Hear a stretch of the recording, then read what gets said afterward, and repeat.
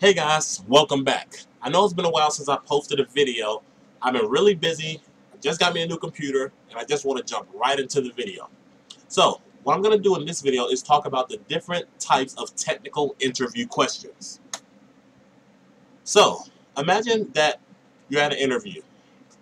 You really don't know what to expect, but you do know that the interview usually has a certain type of structure to it. And the structure looks something like this introduction. The interviewer may ask you about your previous work experience. They may ask you about your soft skills. And obviously after that, there's going to be a technical question portion of the interview as well as a conclusion.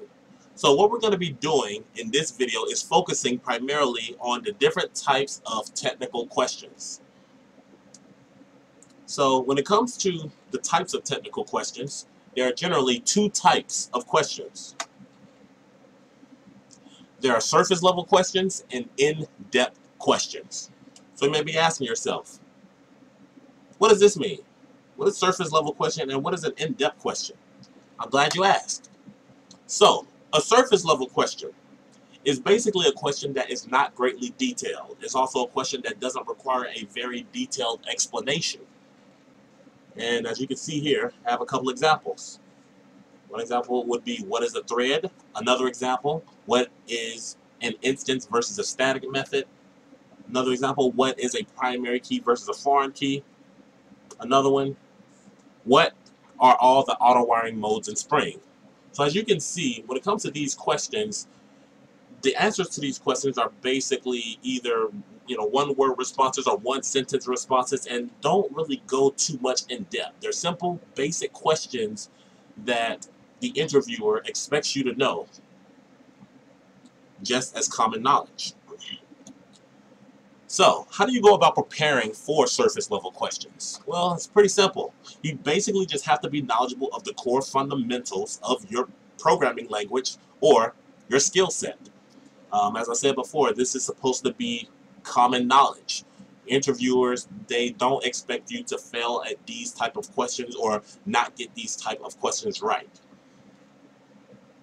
Now, for the second bullet point, you can see that another way of preparing for surface level questions would be to tailor your resume for what you know. I've seen people write things on their resume that they don't know about just to get their foot in the door, just to try to get the job. But you need to make sure that you tailor your resume only for what you know. Alright. Now, what I want to do next is talk about in-depth questions. An in-depth question is basically a question that is greatly detailed. Um, another thing is that it's a question that does require a very detailed explanation.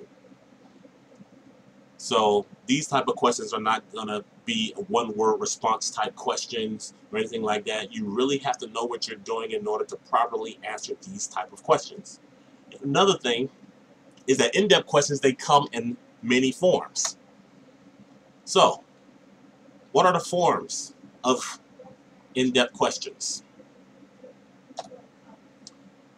Alright, so one form will be just a, a deep technical question in which the interviewer simply just asks you a question verbally and basically you have to come up with the answer or the solution to a problem.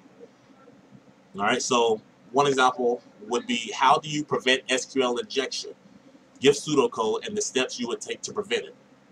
Another deep technical question would be what are the advantages and disadvantages of microservices? Now I've got questions like this before on interviews where they ask about the advantages and disadvantages. And this can be somewhat of a tricky question because usually when we think about a, a certain technology we're only thinking about the advantages but we never really compare to other technologies you know and talk about the disadvantages or why we wouldn't, wouldn't use a certain type of technology. So that's another one to look out for and another example would be how would you go about writing quality code as you can see here, this is not just a simple one-word response that you would give. There will be multiple things that you would do in order to go about writing quality code.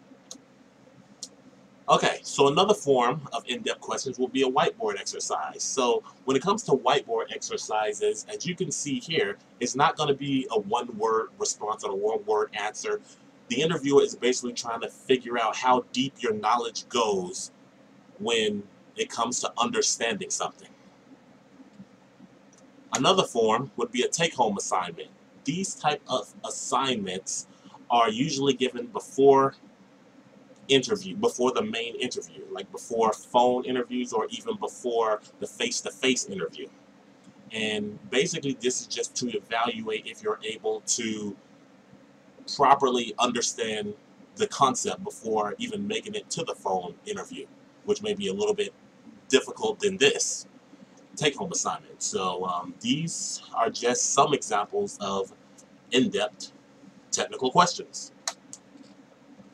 Now, how do you go about preparing for in-depth questions? Well, when it comes to preparing, you have to be knowledgeable of the core fundamentals required for the job. This is how you prepare for it. Now, I know that there's some job descriptions in which you don't, you may not always know um, every bit of skill set, but there should be a certain, there's, there should be um, certain technologies that you do have experience with. Okay, so you just have to be knowledgeable of the core fundamentals required for the job. Another thing is that you have to be 80% or fully grounded on all the skills you put on your resume. Now, what this means is that you can't just prepare for an in-depth question by just studying the basics of a technology.